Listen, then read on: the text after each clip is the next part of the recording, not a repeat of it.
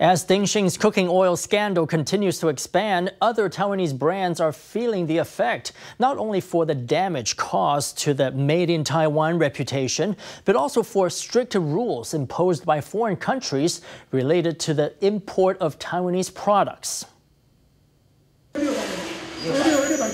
Taiwan Tobacco and Liquor Corporation's Yilan factory seals box after box of red yeast pork floss that was made with tainted oil supplied by Ting Hsin.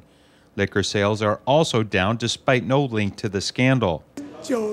The production lines for liquor and meat are completely separate, but there is still damage to our liquor business. After the red yeast pork floss was added to the health ministry list of items using tainted oil, Japanese customs officials barred TTL alcohol products that were to be shipped to Japan and China.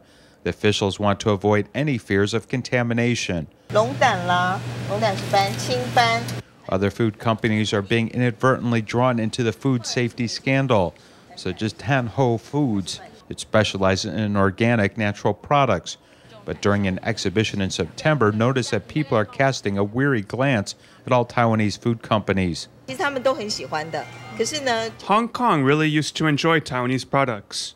In September, we had planned to join a Taiwan Top 100 Products activity with a press conference to promote the event. But after the food safety scandal, the event was canceled. According to data from the Economics Ministry, Taiwan business turnover reached a historical single month high for the month of September. But due to the food safety scandal, monthly turnover for retail food companies dropped 8.9% when compared to the previous month.